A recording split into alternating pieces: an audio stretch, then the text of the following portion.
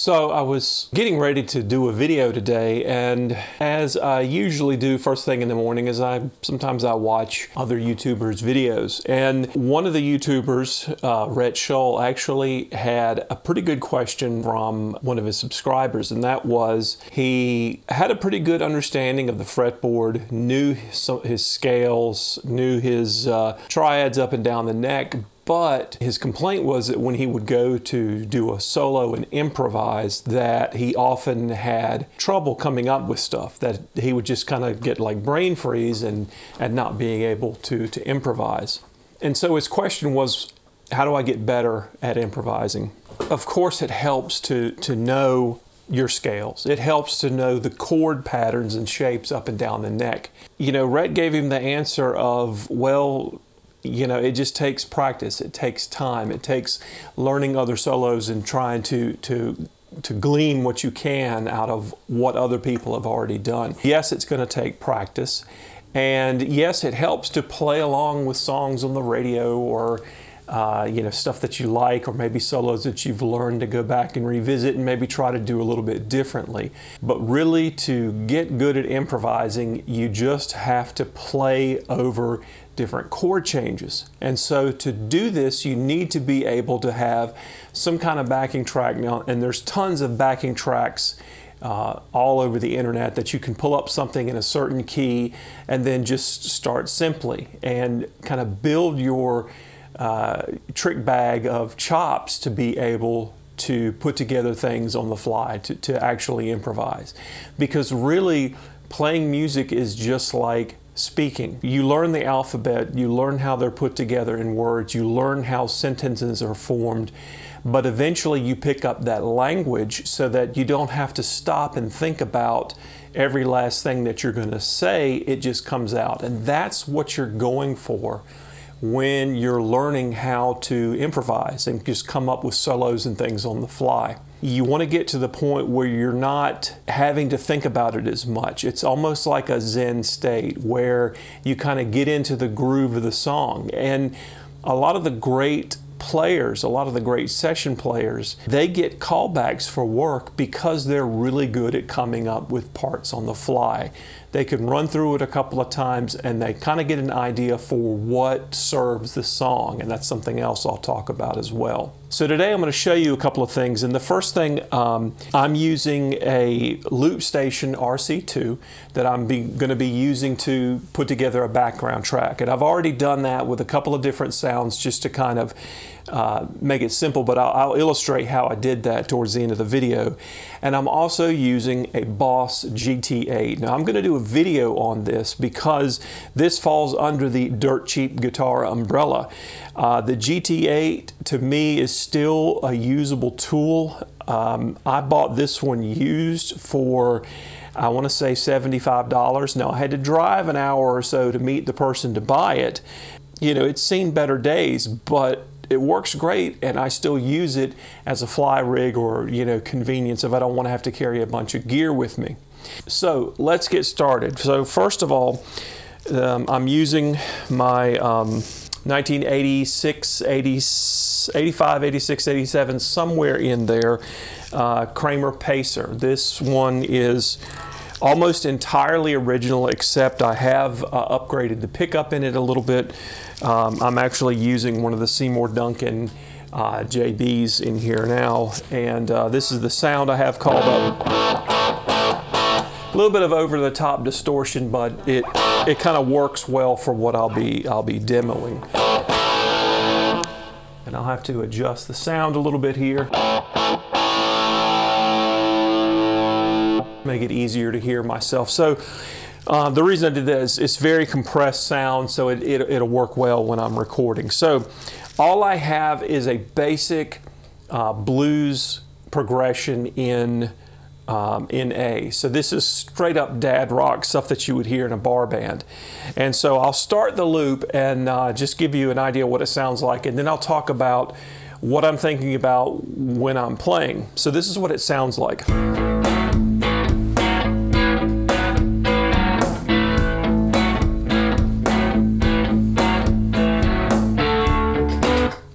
Okay, so very straightforward. Um, of course, it's an A. am uh, playing an A uh, riff. And the cool thing about doing stuff like this uh, is it's not major or minor. So I could use a minor pentatonic or a major pentatonic. So I could shift the sound of the, the groove and the song just by switching back and forth. But I'm going to show you how that uh, as you evolve as a player and um, start learning more exotic scales, how you can create a lot of spark and interest with your, your improvisations. So I'm going to start and I'm just going to play some really basic stuff to start with. And you'll notice that I tend to hang around certain notes. Those will be the root notes of the chord I happen to be playing over. So um, if I'm playing over an A, that's my home base. That's where I know I can go back to. So So,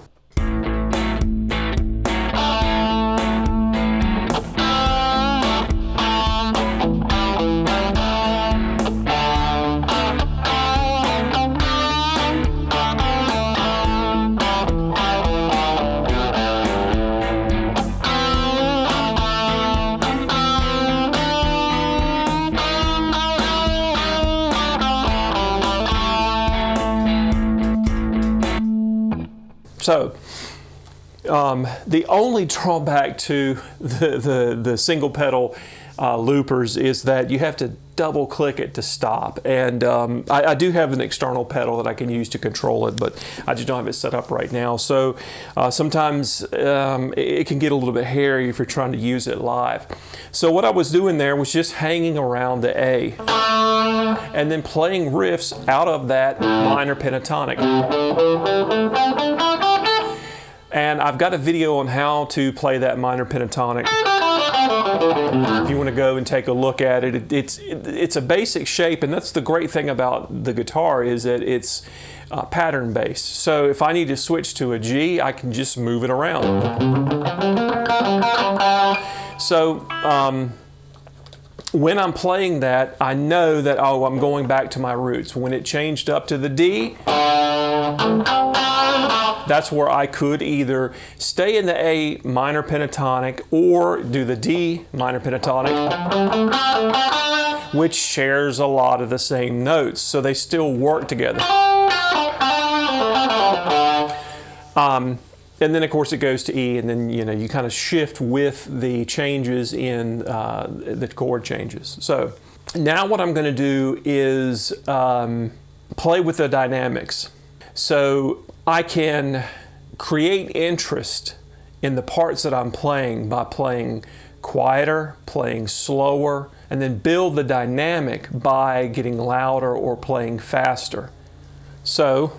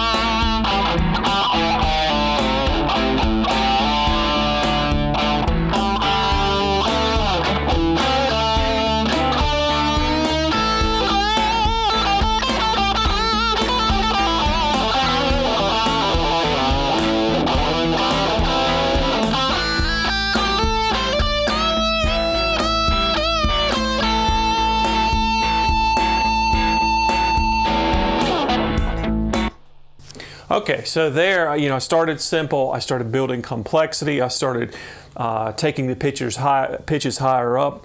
Uh, bending the notes more, all that kind of stuff, adding vibrato, uh, throwing in an, uh, a boost to boost the signal louder.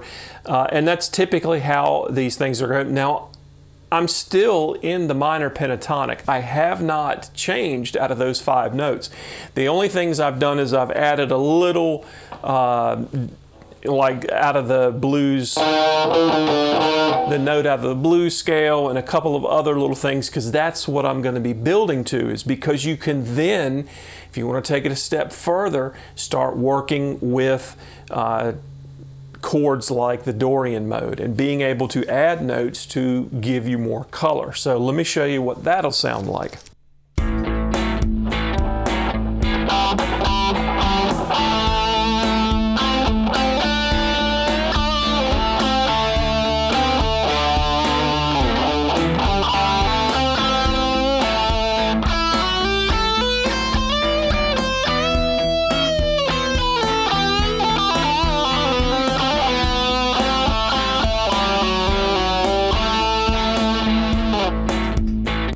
So there I added a few notes out of the Dorian mode and you could see that it kind of changed uh, the, the sound that, that I was getting out of it. You could do the same thing by going into the, the straight minor scale. Playing something like that as opposed to just the just the pentatonic. And you can hit those notes.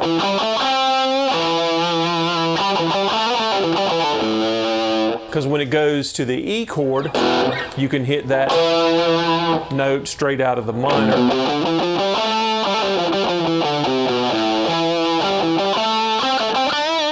Which is also in the pentatonic, but I'm playing the note right next to it as well.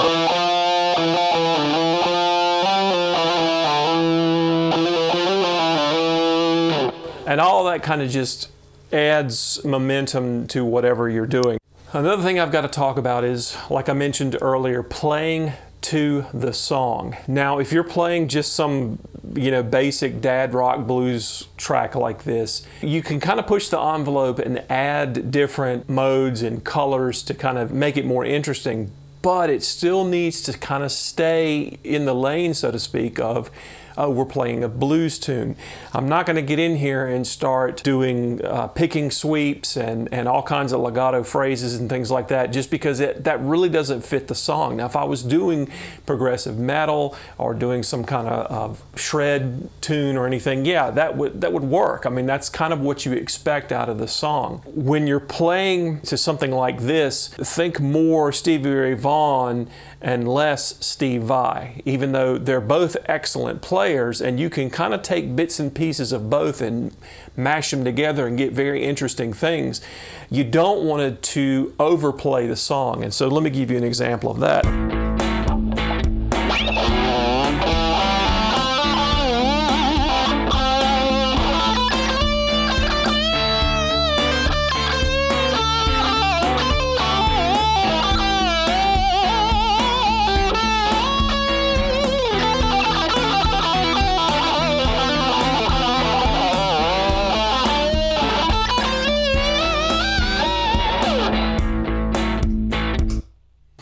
So there's kind of just fooling around, but still I was staying within the pentatonic, but I was adding a lot of whammy, I was adding a lot of uh, slurs and things like that. And uh, yeah, I mean, it might be fun and everything to do, or if you're, you know, doing some sort of gig and uh, the audience is just kind of half asleep or something, that might be something to kind of wake them up or what have you. But if I was going into the studio to record a tune and backing up a band, that solo might not might not really fit what's actually happening in the greater context of the song. So that's why, you know, when people say, oh, they're, they're playing with taste, uh, that's what they mean. I mean, a lot of the guys that, that um, you know, are truly the great players, yeah, they can fly up and down the fretboard. But what's really impressive is not so much what they play, but what they don't play and how they know how to lay back and kind of uh, fit within, within what they're doing with the song. So an exception to using the whammy bar in blues is Jeff Beck. He is able to add a lot of interest to the phrases that he's playing, but he's not, you know, sitting there and just flailing away on it. You don't hear that. It's a much more tasteful kind of feel to it.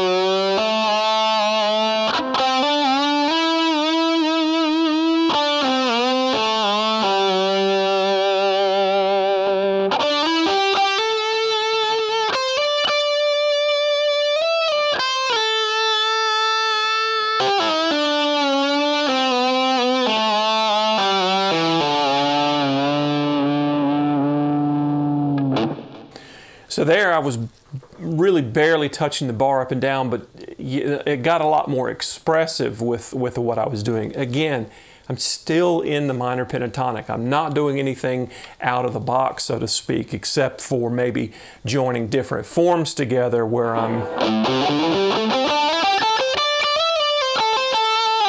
I'm not really, you know, doing anything too far out of left field. And you'll notice that I'm, I know where my roots are. If you go back and watch my video on the fret light, uh, that was one of the, the things that I had an issue with was that it did not show you uh, where your roots were. So all the lights were the same color, so you would know the pattern for a scale, but it's so important to know where the roots are because really there are no wrong notes, especially if you're playing jazz. Uh, if you hit a note that is completely outside of what you're doing, you're only a half step away from where you need to be. So, another important thing with improvisation is knowing how to cover your mistakes. So, let me give you an example.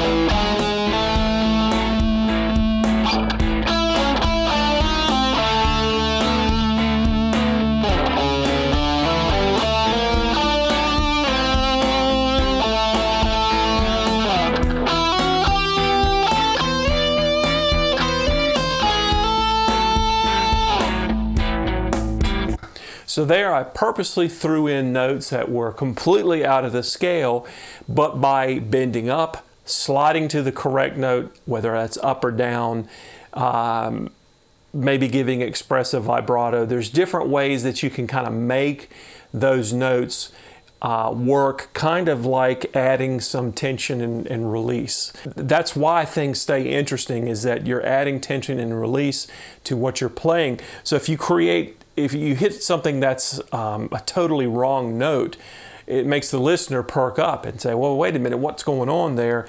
But then you resolve to the correct note, all of a sudden it sounds better. So let me show you how I put together um, this kind of rhythm. First of all, with the, let me go and do a new, we're to start with a new pattern here and I want to pick a pattern that I like.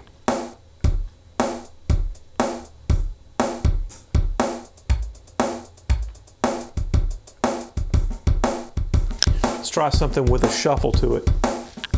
Okay. Now I'm going to set the tempo.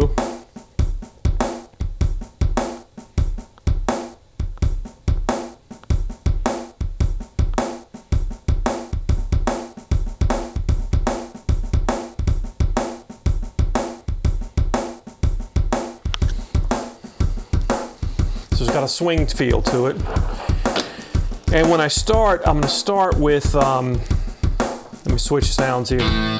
Just a different sound. And I'm just gonna play some straight chords like that. So let me get the looper started to record.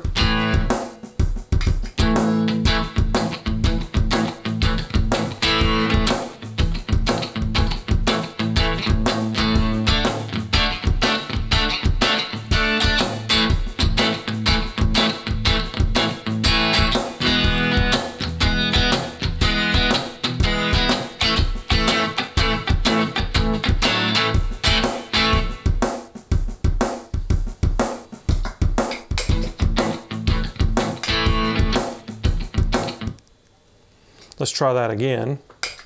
Okay. So we got a shuffle beat going.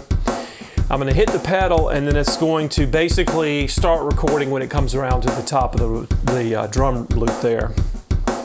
So I'll kind of get a feel for what I'm going to do.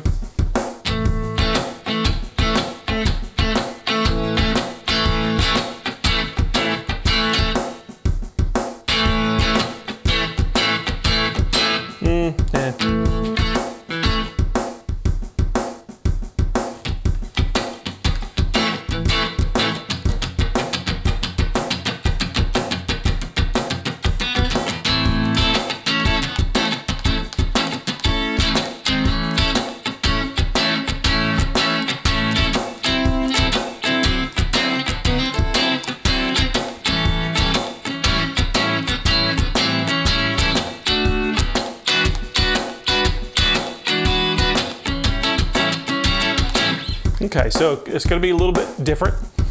but uh, we'll start with like uh, an A minor 7. I'm going to stay in the minor pentatonic range, so let's see how it works.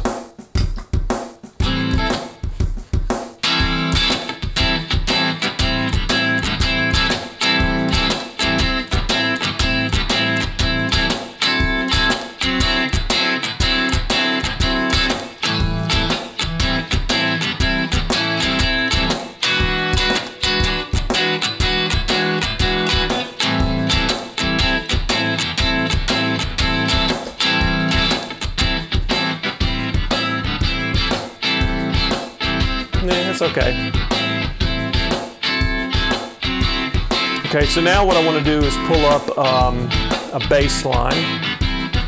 So, so let me pull up a sound.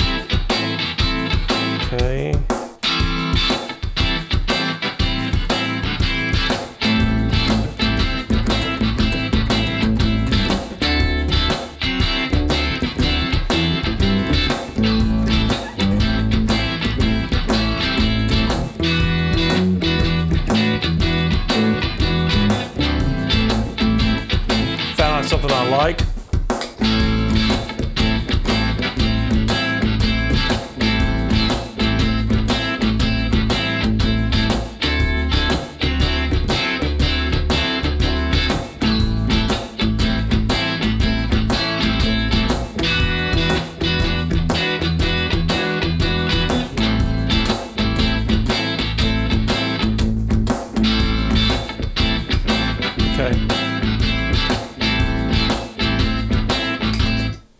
Okay, so now we have the basic track kind of built and I'll switch back to the sound that I was using. And you'll notice that in there I threw in a wrong chord because I played a um, 7 instead of a minor 7 so when you have little happy accidents like that uh, you have to know that that's coming up and know that um, the minor pentatonic will not work over it, but if you just hit the root, it's all good, as long as you're not playing anything that contrasts with it. So let's see what we can come up with here.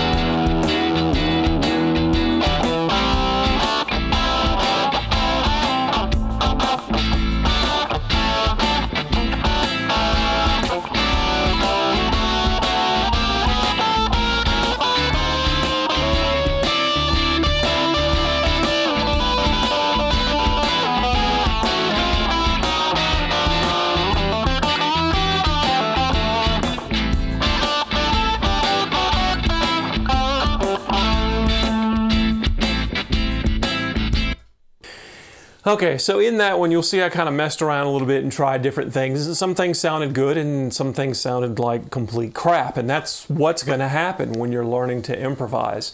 But if you kind of stick with it, uh, you know, you can have a lot of fun just kind of coming up with different things. Um, it's going to help improve, you know, your ear so that you know what sounds good. It's going to help improve your timing and your rhythm just to be playing over different things. So, you know, find some of the backing tracks online. There's tons of books out there that have uh, not only good backing tracks, but tips on how to uh, play over the changes, so to speak, so that when you're uh, playing over different types of chords, you know what scales work better over different chords. Everything that I've shown here has been 85 to 90% pentatonic scale. I've thrown in some other uh, types of scales like the Dorian mode uh, for color, but I'm not really doing anything too, uh, too far out there. So by all means, get a setup, play around with it. Uh, it's a good way to practice. Uh, a lot of the apps these days have ways to record yourself and loop so that you can record a little something and play back over it. And, and every minute that you spend doing that is, is going to just improve your playing that much more.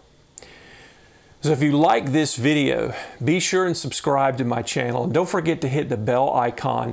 Give that video a like because it does help uh, grow the channel. Not that uh, there's money falling from heaven, but every little bit helps. If you have any suggestions for videos or content, I'm working on some right now that different uh, subscribers have kind of suggested.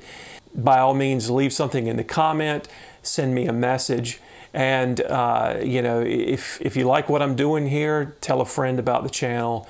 Uh, I'm going to be doing all kinds of different things you know, really kind of whatever comes to mind and kind of sharing with you uh, all the experience that I have and things that I've learned and things that I'm still learning as I go. So remember, until next time, keep practicing.